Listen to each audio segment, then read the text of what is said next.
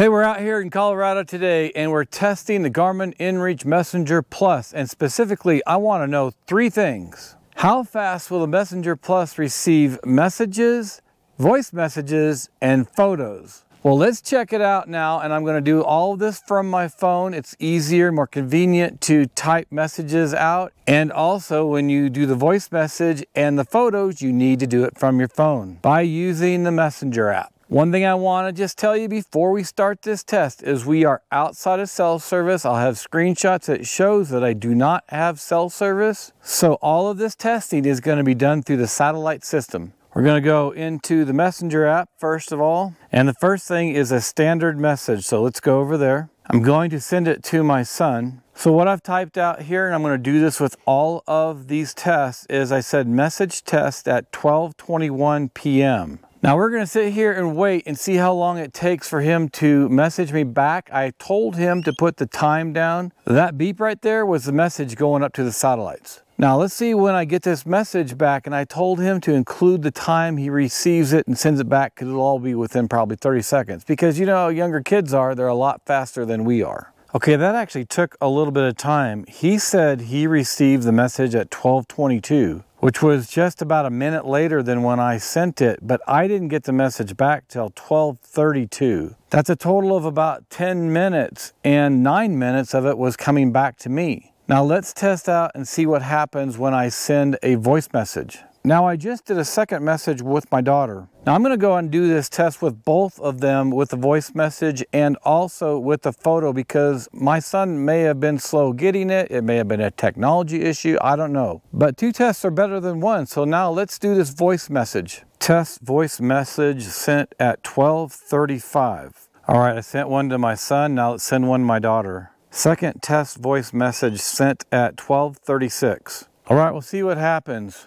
And when I get home, I'm going to talk to both of my kids and see if one of them just sat around going, hey, I wonder if it'd be funny to let my dad sit out there and sweat for a little bit. It's sunny today, but it's only about 60 degrees. So I'm not sweating, so joke's on them. Okay, my son received it at 12.37 and I sent it at 12.35, so it's two minutes for the message to get there and then get back to me. It was actually a little closer to 1238. I saw it at 1237, but by the time I typed in the message, it was 1238. All right, I haven't heard back from my daughter yet, but let's go ahead and send a photo to my son. Okay, my daughter received it at 1238. She can't listen to the voice message, but that's when she received it. Now, she said 1238, but it says 1239 on my phone, so give or take a minute. Now, let's get back to the photo test to my son. Just to let you know, you can choose from a photo to send, or you can take a photo from your camera. I'm going to take a photo from my camera and I'm going to do a selfie. I know selfies are so overrated, but let's just do this right now. Maybe I'm wrong. Maybe selfies aren't overrated. Maybe they're a great thing.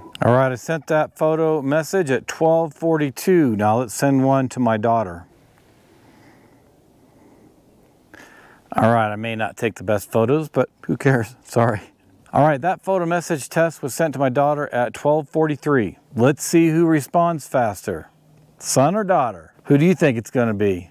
Oh, it's my son. My son wins that battle. All right, I received that photo message back from him, the confirmation at 1244. My daughter hasn't sent anything back yet, but she's in town doing some shopping, so she might be held up. I don't know, maybe a cop finally pulled her over. All right, here's the results of the test. And generally what I'm finding out, it's taking roughly two minutes for me to send either the message, the voice message, or the photo and get it back. It's about two minutes. Now, when I sent the first message to my son, it was nine or 10 minutes, but of course that's an outlier. We may have to throw that one out. However, it can take that long to send a message. When you're dealing with satellites, you never know. My guess is it generally would go through within five minutes, and that's been my experience so far testing these for the past five years. So I'm gonna put all the information up on the screen, what I sent to my son and received from my son, and that will be the standard message, the voice message, and the photo. Now I'm also gonna show you on screen what I sent to my daughter, and again, it's the message, the voice message, and the photo. I have not heard back from my daughter yet, so it's definitely going over five minutes, I believe, without looking at the time. Now there's some outliers here as far as this test, and that one with my daughter, I can't take for granted right now that she's busy or maybe it's the satellite system. I don't know, but on all the others, I'm seeing about one and a half, maybe to two and a half minutes. I would say two minutes is what you're typically going to see with the Garmin InReach Messenger Plus when sending a message, a voice message, or a photo. I know this isn't a scientific test and some of you might give me some grief, but I cannot spend my whole life out here doing a scientific test. I'm an engineer and I know what it's like to test things, so I'm doing my very best to give you information as like you would come out here and test something. So what would you see? As I said in the beginning of this video, I am outside of cell service. I've proven that to you. You can see from the screenshots it shows the SOS or the satellite image on the phone at the very top. But I hope this helps you to understand exactly what I'm seeing when I'm testing that Garmin InReach Messenger Plus. If you have any comments, questions, criticisms, anything, leave them below and I'll get back with you as soon as possible. Thanks for joining me out here in Colorado. Now get out to the mountains and stay safe.